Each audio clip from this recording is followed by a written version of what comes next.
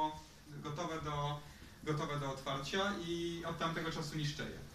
Więc jest, e, e, więc jest ten park rozrywki, generalnie wszyscy sobie robią zdjęcia w tych samochodzikach.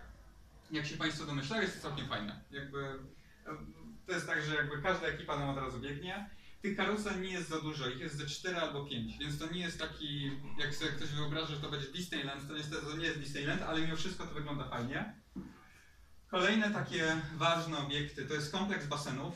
Ja też wziąłem jakby tylko jedno zdjęcie, ale tam jest kilka basenów, jest taka duża wieża 10-metrowa do skoków i potem można się kręcić. Znaczy to jest, to jest tak, że tam nie ma konkretnych miejsc, tylko to się po prostu kręci po tym mieście.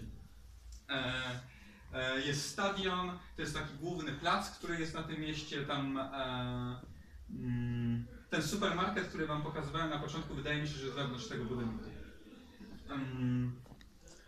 I tyle, ponieważ to miasto jest dosyć duże, a tam się porusza, poruszacie piechotą, to schodzi mimo wszystko dosyć sporo czasu,